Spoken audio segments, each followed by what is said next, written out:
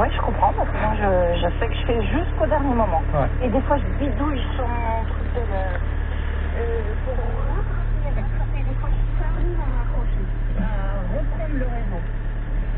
Allez, voici votre questionnaire. Il y a quatre questions, deux locales. Euh, bah, aussi sur les goût de